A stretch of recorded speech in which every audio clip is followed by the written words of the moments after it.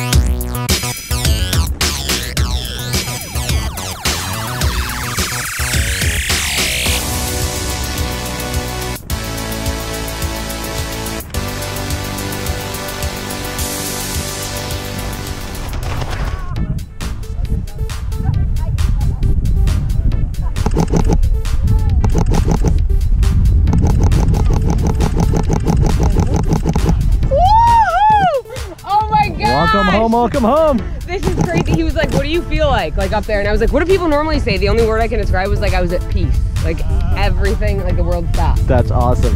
I'm super glad to see the smile on your face. And, and Thank you so much. I just picked you up your did. hand movements in your heart. Oh yeah. Yeah. Gotta get the picture.